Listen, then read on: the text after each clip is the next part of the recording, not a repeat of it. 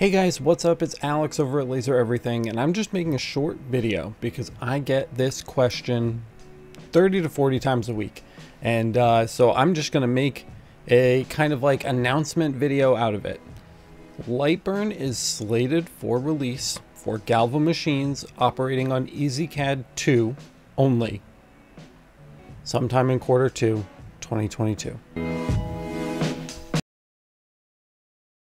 If we do a quick Google search here, we can see the 2022 fiscal quarters. Quarter 2, 2022. Dates are from April 1st, which is well behind us now, uh, through June 30th.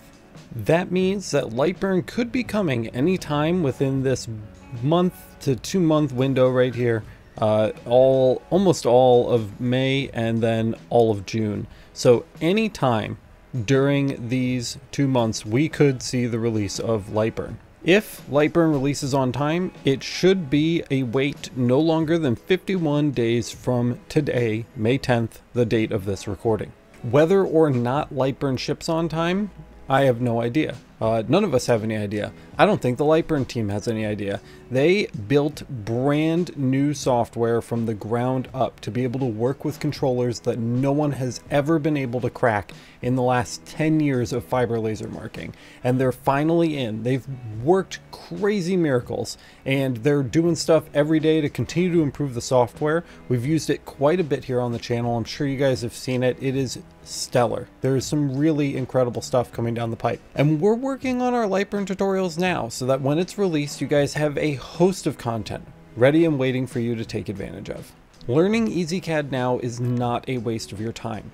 Lightburn is still running on the EZCAD controller in your machine. And that means all of the operations that are being carried out by the laser are being carried out in exactly the same way. The only thing that's really new here is the brand new UI, which is amazingly user-friendly, and a bug-free laser marking experience all of the basic principles about how this stuff all works, all of the commands being sent to the machine, and nearly all of the instructions about how to operate your machine, change your settings, and dial things in are remaining the same. 9 times out of 10, you're just going to be looking in a different spot for the same menus. That said, we are really excited about the Lightburn specific and exclusive features that will be coming with Lightburn when it launches for Galvo lasers. I've specifically held off on the tutorials for those kind of features because you guys can't utilize them yet. But that doesn't mean we're not going to start producing Lightburn content now. It doesn't make sense to make EZCAD only content for the next 50 days and then have all of that work become irrelevant the day that Lightburn launches,